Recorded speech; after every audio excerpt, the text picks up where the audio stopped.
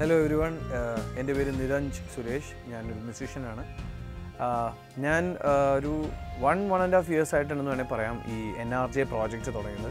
Band എന്ന് പറയുന്നത് ഒരു പ്രോഗ്രസീവ് ഫങ്ക് റോക്ക് ബാൻഡാണ് അതിന്റെ അകത്ത് കുറച്ച് ജാസ് എലമെന്റ്സ് ഒക്കെ വരുന്നുണ്ട്.